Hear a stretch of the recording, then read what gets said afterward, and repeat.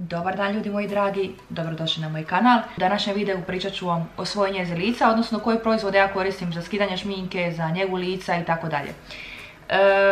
S obzirom na to da tu nisu svi proizvodi koje ja inače koristim, ja ću vam ubaciti slike i reći ću vam o proizvodima koje volim općenito koristiti. Ništa od toga vama neću preporučiti zato što je lice ipak nešto što je preosjetljivo i što je kod svakog drugačije. Da se ne bi desilo da nešto kupite pa da vam se lice pokvari. Možda vam kažem da nešto probate poput torika, naprimjer neki tonik za kojeg znam da je blag i ok, to vam mogu preporučiti, ali ovako neke teže stvari, kreme i tako dalje, to ipak ne bi. Prva stvar koju ja volim koristiti to su ulja za skidanje šminke. E, počela sam sa biobazinim uljem. I jako mi se svidija taj princip skidanja šminke. I ovaj, nakon toga jedno vrijeme nisam koristila ulja, onda sam vidjela da mi jako fali i da mi se jako sviđa taj način skidanja šminke.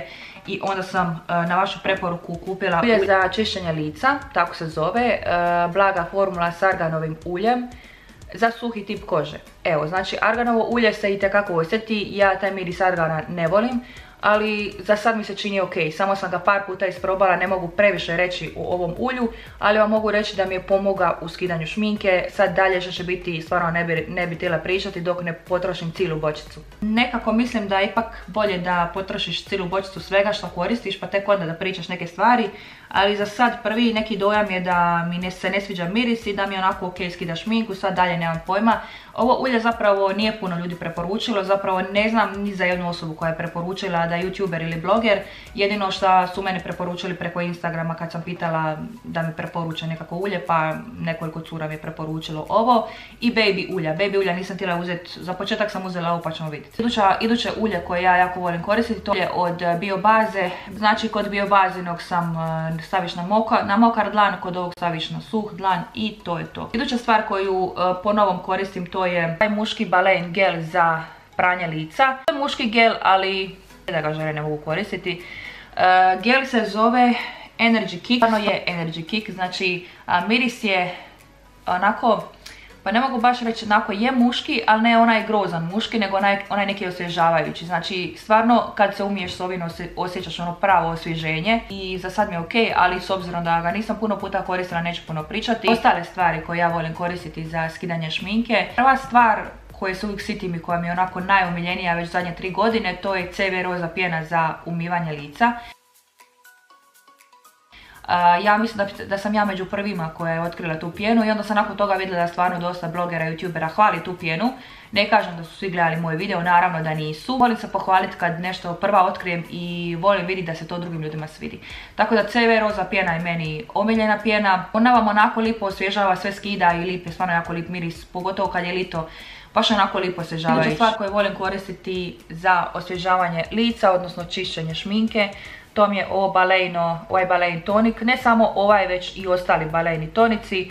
Probala sam i rozi, i bili, i plavi. On je onako baš kao neka vodica, znači jako blag miris. Onako lipo čisti lice, osvježava i to je sve što je meni potrebno. Znači hidrira, čisti, osvježava i to je sve zapravo što meni triba od jednog tonika. Što se ostalih tonika tiče koje inače koristim, to su Afroditini tonici. Ubacit ću vam sliku, zapravo sve od Afrodite što se tonika tiče mi se sviđa. Iduća stvar koju ja volim koristiti, to vam je od Balea peeling za lice. To vam je peeling piše iza da e, proljepšava izgled kože, hidratizira za sve tipove kože, 1 do 2 puta tjedno, masiraš jednu minutu, izbjegavati područje oko oči. Ja ovaj peeling koristim već dugo i on je meni pri kraju, tako da vam mogu reći svoje pravo iskreno mišljenje o peelingu. Meni se sviđa to što ima puno, puno milijarde, milijarde onih malih čestica. Onako dovoljno je blag i grub nekako, ovisno kako želiš, kakvim koracima, naglim ili, ili laganim prolaziš preko lica. I meni jednostavno paše, evo, ispunjava sve moje uvjete što se tiče peelinga. Što se ostalih peelinga za lica tiče, nijedan mi se nije svidio osim ovog od svih peelinga koje sam probala. Neću reći da sam ih puno probala, ali evo, ovaj mi je jedini koji valja. Znači, proizvod kojeg ja koristim, pošto imam uh, nekad problematičnu kožu lica, odnosno zapravo je problematična ja više nemam te akne koje sam imala prije. Ali imam problematičnu i osjetljivu kožu koja je jako puno iziritirana u prošlosti i koja treba onako baš dubinsku njegu, mikrodermoabraziju ili ostale stvari, ne mogu se sad točno sititi, ostale stvari, laseri, ko zna šta će mi trebati da maknem sve te ožiljke koje imam po licu, ali imam osjećaj da mi ovo pomoglo u borbi protiv prištića. Evo imam crvenilo po licu i kad ne nosim puder vide mi se sve nepravilnosti koje imam.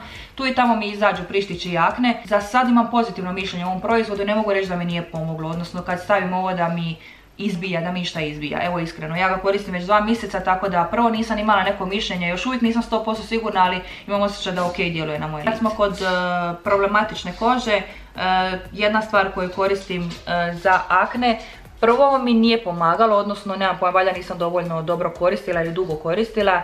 To je ovaj Nikelo proizvod kojeg staviš na aknu i ja ga više puta dnevno stavim na aknu. Isuši aknu, ali ne odmah, to je problem. Znači e, koristim ga, e, još mi čak mi je pri kraju, ali jednostavno ne isuši onako brzo kako bi ja tila, ali koristit ću ga do kraja, tako da ovo vam ne bi preporučila. Iduća stvar koju trenutno koristim i koja mi se stvarno jako sviđa i čak evo koristim ju dva tjedna i već sam potrošila skoro do pola.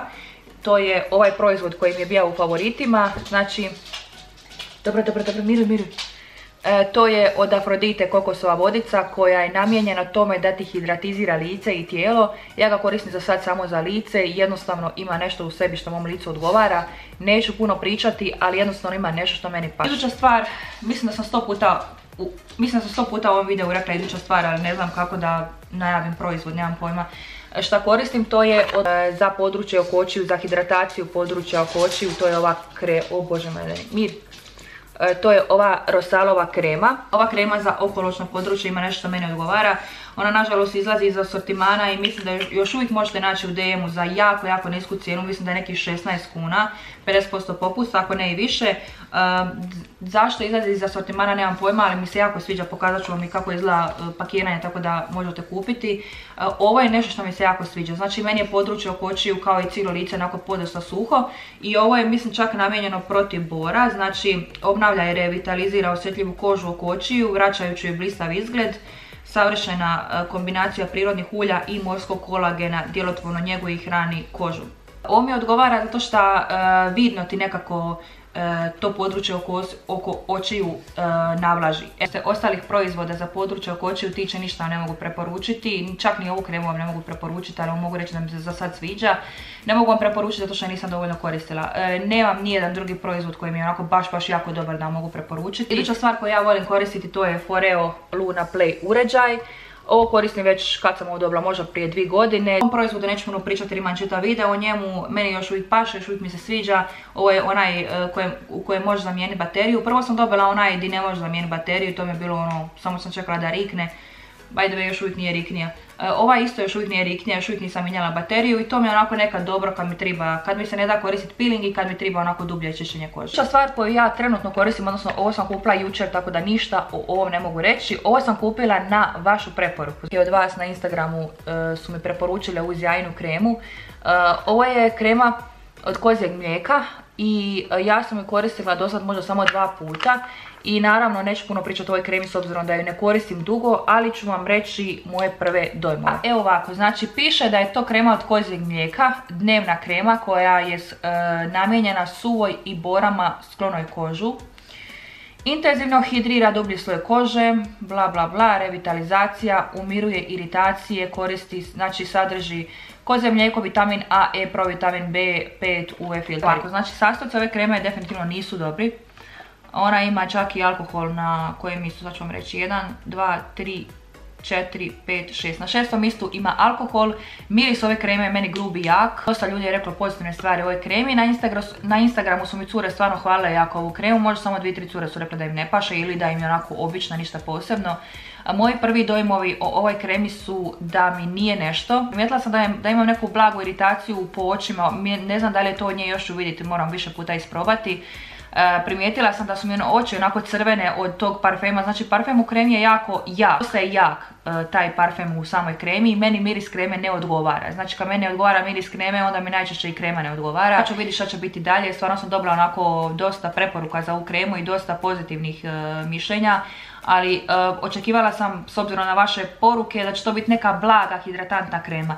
prvi dojam je da osim tog jakog mirisa, prvi dojam je onako ok se upija u kožu, znači ok izgleda na kožu, čak se može koristiti prije prije pudera, ali jednostavno nije, nešto mi tu ne paše, ne, ne paše mi sastojci, ne paše mi jačina tog mirisa, imam osjećaj da je, da, je, da bi mogla stvoriti komedone i to ne želim. Što se tiče krema koje ja volim koristiti, to su vam sve olivarove kreme.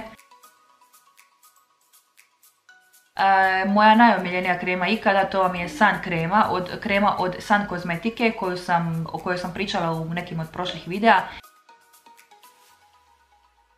Ta krema koju ste malo previdjeli, to je najposebnija krema koju sam ja ikad u životu probala. E, sad, pitanje bi bilo kad bi opet kupila i probala da li bi bila toliko jednako dobra ko prije kad sam ju koristila. Koristila sam ju u ljetnim danima i to je e, navodno prirodna kozmetika. E, miris te kreme je savršen. E, tekstura te kreme je savršena, osjećaj na licu je savršen. Imala sam najbolje lice kad sam koristila tu kremu. E, ne znam da li je lice bilo dobro onako jer je to bila faza kad mi je lice bilo dobro ili je tu krema potpomogla, ali onako jako hidratantna krema. Onako više za da ju koristiš po noći zato što je onako podosna masna ima dobre sastojke koliko ja znam, ali ima i nekoliko loših sastojaka, tako da to je jedina stvar koja me onako malo e, poljulja kad je u pitanju ta krema. I to je definitivno krema koja je meni omiljena. Ljudi moji dragi, to je sve što se tiče današnjeg videa. E, kadrovi su puno puta mijenjani, odnosno e, vidjeli ste sve, ali jednostavno imala sam problema sa ovim položajem čudnim, morat ću naći neko drugo mjesto u kući u kojoj bi mogla snimati, ali uvijek mi nešto smeta, uvijek mi nešto u pozadini smeta, tako da ovo je neko, mjesto koje je onako ok. To je sve što se tiče današnjeg videa. Hvala vam puno što ste pogledali ovaj video i vidimo